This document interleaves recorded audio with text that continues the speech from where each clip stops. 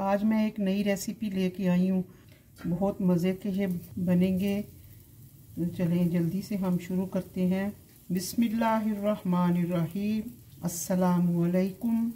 आलू ले लिए हैं बॉयल इनको हम कद्दूकश भी नहीं करेंगे और इनको इस तरह से हम काट लेंगे और फिर हम इसको बनाएँगे और बहुत ये टेस्टी बन के तैयार होगा। हम बना रहे हैं कोफ्ते।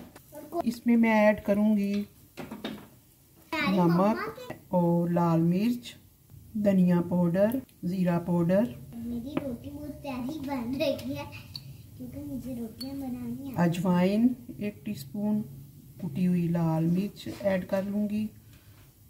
ये देखिए तो मेरी चीनी वाली रोटी भी बन गई है। ये सब्ज मिर्च कटी हुई ऐड कर लेंगे। हरा धनिया इसको मैं मिक्स कर लूँगी। आलू जो काफ़ी गर्म है। थोड़ी सी हम इसमें हींग भी ऐड कर लेंगे गरम मसाला भी ऐड कर लेंगे। आयल लगा के तो इस तरह हम इनके बाल बना लेंगे।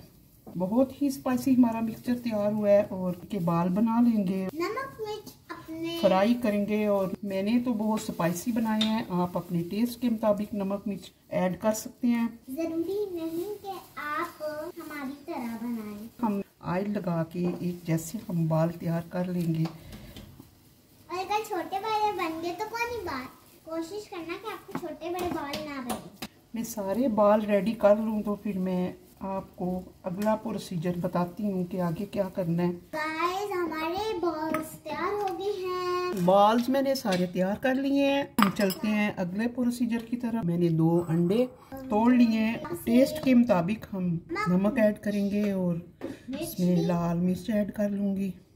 और इसको अच्छी तरह से बीट कर लेंगे। ऑयल मैंने चूल्हे पे रख लिया है और वो गर्म हो रहा है। हम इनको बनाने की तैयारी हमने कर ली है।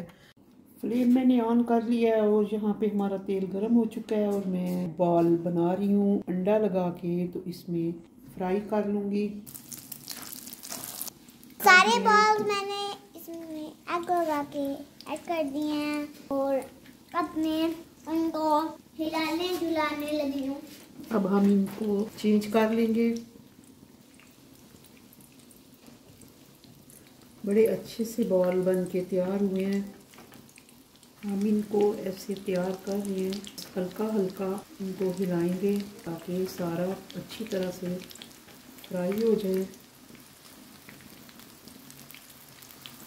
गैस आज हमारी जल्दी ही चली गई है तो मुझे सिलेंडर पे बनाने पड़े हैं। सिलेंडर पे मुझे बनाना अच्छा नहीं लगता। सिलेंडर की गैस तेज़ होती है। मेरी सारी सेटिंग ही ख़राब हो जाती है। आप मेरी वीडियो को लाइक ज़रूर किया करें। मैं इतनी मेहनत करती हूँ। कुछ भी मैं स्किप नहीं करती। ये हमारे रेडी हो चुके हैं और मैं इनको निकाल लूँगी। एग्स बाल हमारे सारे रेडी हो चुके हैं और मैं यहाँ बनाने लगी हूँ चटनी और हमें चाहिए दही। दो टेबल स्पून दही के ऐड कर लूँगी। हाफ़ टी स्पून मैं इसमें नमक ऐड कर लूँगी। लहसुन हमारे पास बहुत बड़ा है और इसको मैं हाफ़ कर लूँगी। हाफ़ लहसुन हम इसमें ऐड कर देंगे। इसमें ऐड कर लेंगे। एक टमाटर चॉप किया हुआ था, वो इसमें ऐड कर लेंगे। हरा धनिया, और इसमें पुदीना भी ऐड कर लेंगे। हम इसकी चटनी बनाएँगे। मैंने पानी ऐड नहीं किया, इसलिए थिक बन रही है। पोटैटो एग बॉल्स बन चुके हैं। तो इसको चटनी के साथ ऐसे भी खा सकते हैं। बहुत ही टेस्टी और स्पाइसी बने हैं। लेकिन मैं इनका सालन बनाऊँगी और अब हम मसाला रेडी कर लेते हैं। तो हम इसमें धनिया ऐड कर देंगे और कितने अच्छे बॉल्स बन के हमारे तैयार हो चुके हैं। और गाइस मैंने एक चक्की देखा है और इतना स्पाइसी ये तैयार हुआ है।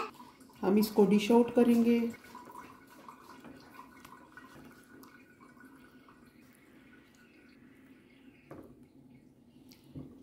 एग बॉल्स मैंने डिश आउट कर लिए हैं और साथ में मैंने लेमन अजवाइन वाला रखा हुआ है। ये अजवाइन वाले लेमन की भी मैंने वीडियो बना के अपलोड की हुई है पहले से, जो मैंने अभी अभी बनाई थी। चटनी डाल लेंगे एग रोल आप भी इस तरह से बनाए। आलू के कोफ्ते भी इनको कहते हैं। गोश्त से भी ज़्यादा मज़े के बने हैं। एक और नई वीडियो लेके मैं आऊँगी। तब तक के लिए अल्लाह हाफिज़।